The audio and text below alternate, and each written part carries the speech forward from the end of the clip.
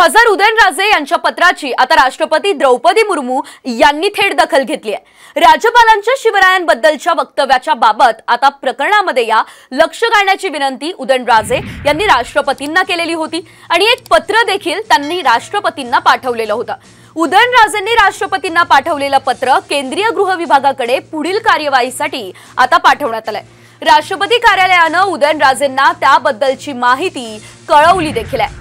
छत्रपती शिवाजी महाराजांबद्दल राज्यपालांनी केलेल्या अवमानजनक वक्तव्यानंतर संतापलेल्या उदयनराजेंनी तेवीस नोव्हेंबरला राष्ट्रपतींना हे पत्र लिहिलं आणि या पत्राची दखल घेत त्यावरच्या राष्ट्रपतींच्या अभिप्रायासह केंद्रीय गृह खात्याकडे हे पत्र आता पाठवण्यात आलंय. त्यामुळे आता राज्यपाल भगतसिंह कोश्यारी यांची उचलबांगडी होण्याची दाट शक्यता आहे.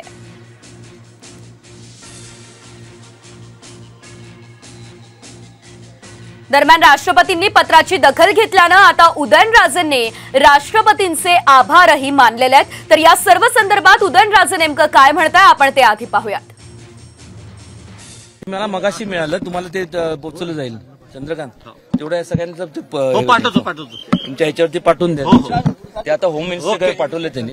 आता जी प्रक्रिया चालू झाली तर काय नेमके ते कुठल्या ते ते जसं इलेक्शन म्हणजे किंवा निवड केली जाते राज्यपालांची कुठल्याही राज्यातलं जरी असलं तसं त्या प्रकारे तर त्यांना पदावरनं काढ काढायचं असेल तर त्याची पण काय प्रक्रिया असेल त्याच्याशी मला त्याबद्दल मला मला अ, विचारलं तर मला फारशी माहिती नाही पण ते पत्र आता त्याचं आता कॉपी आज सकाळीच आम्हाला मिळाली.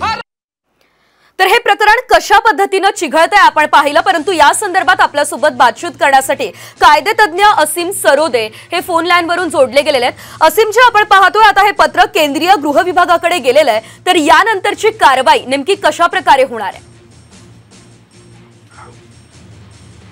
राज्यपाल जे आहेत ते भारतीय संविधानातल्या एकशे छप्पननुसार त्यांची टर्म ऑफ ऑफिस हे नक्की झालेलं असते. म्हणजे त्यांनी किती कालावधीसाठी आणि केव्हापासून गव्हर्नर राहायचं. त्याच्यामध्ये असं आहे की during the pleasure of the president म्हणजे प्रेसिडेंट जोपर्यंत त्यांना तिथे ठेवतात तोपर्यंत ते राज्यपाल या पदावर राहू शकतात. गव्हर्नर स्वतः राजीनामा देऊ शकतात परंतु साधारणतः त्यांना कोणी राज्यपाल पदावरून काढू शकत नाही. केवळ गव्हर्नर त्यांना त्यांना केवळ राष्ट्रपती काढू शकतात.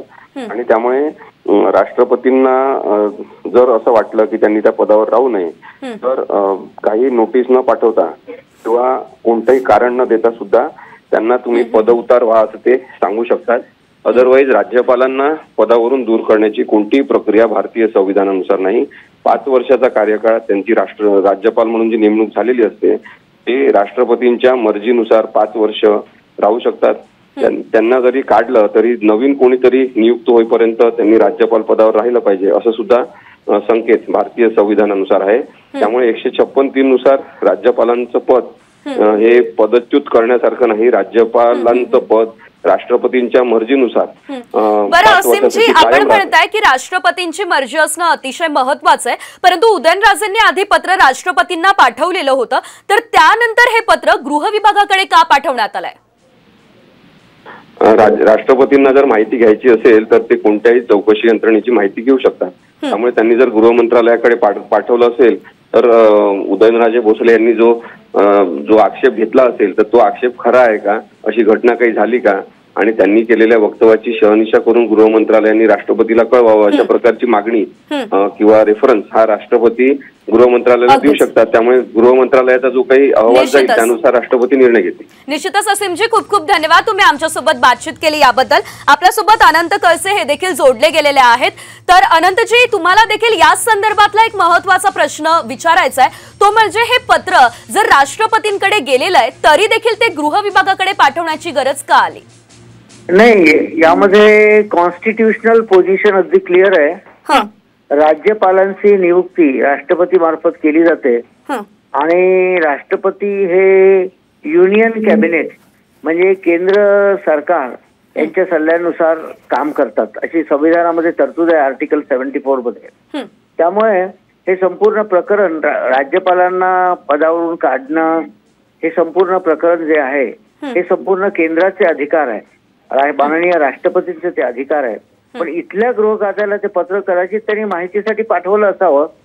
ते पत्र मुळात केंद्रीय गृह मंत्रालयाकडे पाठवणं आवश्यक आहे. तिथे पत्र गेल्यानंतर त्याची दखल गृह मंत्रालयाकडून घेतली जाईल. आणि त्या त्याप्रमाणे मग ती तिथे जर त्याच्या पुढे काही कारवाई करायची असेल तर त्या पातळीवर होईल. केंद्र पातळीवर होईल. तर राज्य पातळीचा याचा संबंध नाही राज्य मंत्रालयाचा.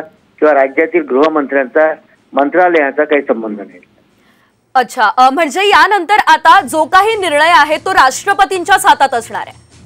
हा तो निर्णय राष्ट्रपतीच्या हातात असणार आहे.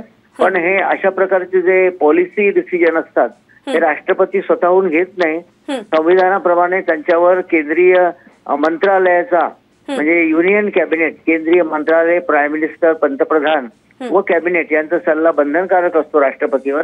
त्यांच्या सल्ल्यानेच राष्ट्रपतीला काम करावं लागतं. म्हणजे एकंदरीतच राज्यपालांच्या नियुक्तीचा प्रश्न हा केंद्र सरकारच्या अखत्यारीत आहे थोडक्यात सांगायचं म्हणजे. आणि केंद्र सरकार यावर निर्णय घेऊ शकतं. खूप खूप धन्यवाद. तुम्ही अतिशय महत्वाची माहिती आम्हाला दिली आणि बातचीत केली त्याबद्दल. तर आता उदयनराजेंच्या पत्राची स्वतः राष्ट्रपतींनी दखल घेतली आहे. त्यामुळे आता राज्यपालांची उचलबांगडी होण्याची दाट शक्यता आहे.